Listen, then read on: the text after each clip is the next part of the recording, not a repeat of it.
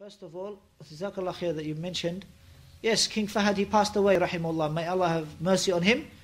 For first and foremost, in his 23 years of ruling the country, the people, a lot of people, they pinpoint the evil and the bad things that they try to pick out on the, on, uh, on the ruler. But as we know, let's be just. Didn't Allah subhanahu wa ta'ala, the Messenger explain that uh, if you do a bad deed, it's one sin. Sah? And if you do a good deed, it's ten hasanat. So let's just look some of the hasanat.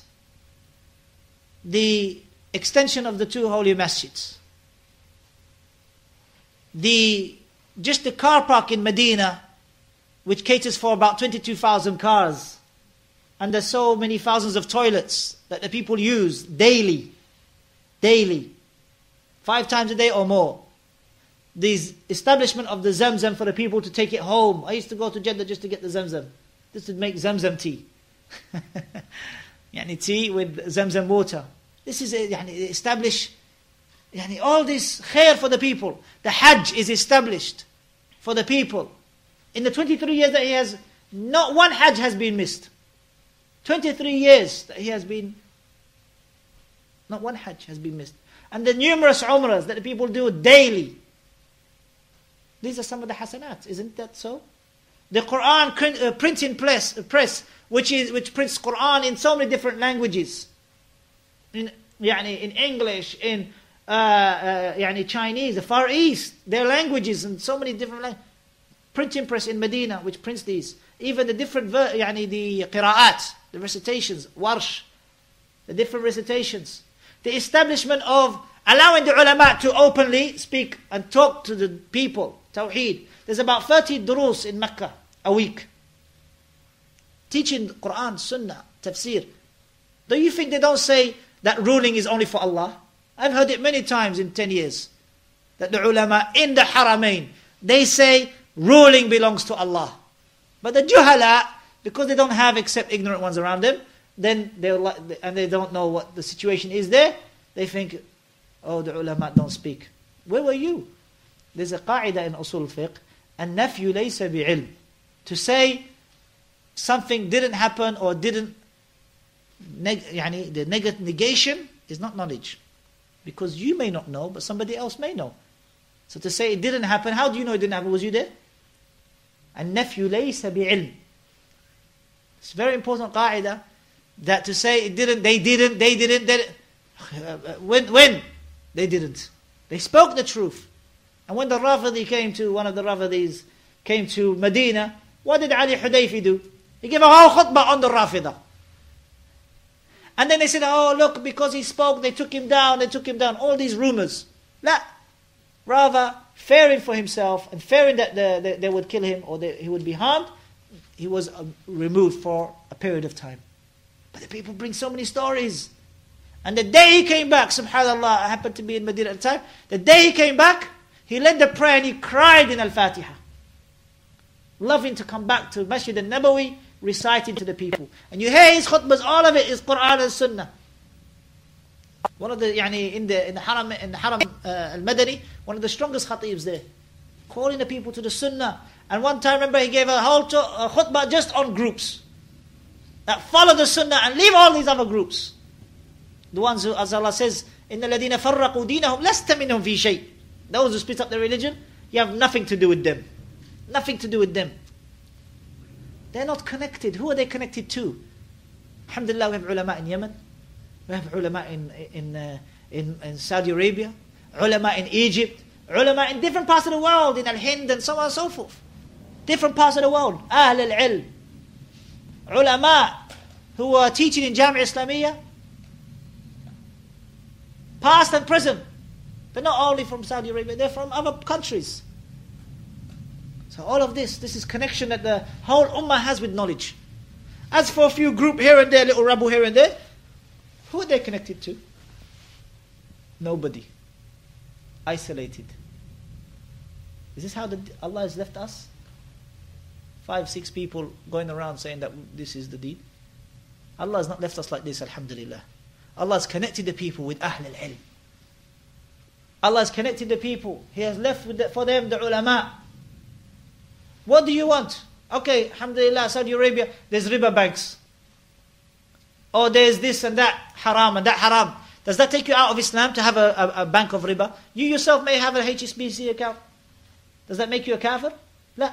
We speak against this. But do we say dealing with usury makes you a kafir? Of course not. But we speak against this and we say how evil riba is. But it doesn't mean that yani, we use this and we use it in order to create turmoil in the land and corruption in the land. Do you want another Algeria?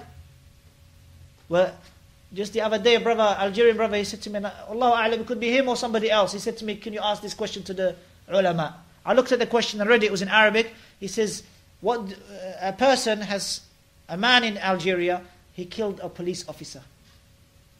What does he have to do? Now he resides in England. What does he have to do to repent? I didn't pull the brother up on it, whether it was him or not. It's not my concern. But he wanted the question to be asked to the ulama. What does he do to repent? He killed a policeman in Algeria. Why, ya ikhwan? Because of takfir? And this is real. This man is asking me, he said, a person has killed a police. Why? Because when they make takfir of the ruler, then anyone who's with the ruler, anyone who works for him, he's a kafir as well. This is not the way. This is corruption, ya ikhwan. This is corruption. And we look into the, the schools in Saudi Arabia. If you, primary school, Tawheed, Islam, that's why the kuffar, they want to change these, the curriculum. But alhamdulillah, until today, and my children are studying this, until today the curriculum is as it is. And the people, they try to change it, but they will not be able to. So, yani, we ask Allah subhanahu wa ta'ala, they, do not. But in these 23 years, the Tawheed was being taught. And not only Tawheed, Usul al-Thalatha, Kashf al-Shubuhat, uh, uh, يعني, this is in Tawheed. Kitab al-Tawheed in secondary school. All of these things are being taught in school, curriculum, for the people. That's why you don't see grave worshipping, you don't see people doing this. Yes, there's sins that happen in Saudi Arabia. There's lots of sins, no doubt about it. But it's not like any other country. go to Egypt, go to Morocco, you see magic. And you see in, in Egypt they have a masjid with a grave inside it, and people go in and pray in Adi, as, as if it's nothing, no problem. So, yani, alhamdulillah, there's a lot of khair in Saudi Arabia, and, the, and there's a lot of khair that the, the former king did. And we have no shame in saying that, because these are something which we have witnessed and saw with our own eyes. But, he's a kafir, a'udhu billah. Who? Did you see his heart? Did you open his heart and see whether he has openly rejected the religion? Yes, oh, he ruled by other than Allah's law. You, by shaving your beard, you rule by other than Allah's law. Because the Messenger said, Trim the mustache and, and grow the beard.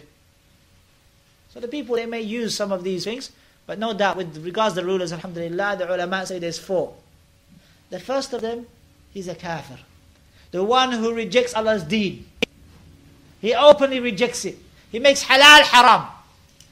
He makes haram halal. Did he say it's halal to do, go to riba banks? No. The action is different than the what you believe in. There's difference. To make something halal, to say that, oh, alcohol is halal. It's kafir who said this. To make halal haram and haram halal, kafir. The second one, the one who says, the one who says uh, uh, other foreign laws are better than Allah's law. He believes this. Is kafir. The one who says that Allah's law is similar to uh, uh, uh, foreign laws.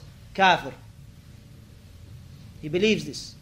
And the last one, he's, he's unfortunately fallen into committing this, uh, uh, yani ruling by other than Allah's law.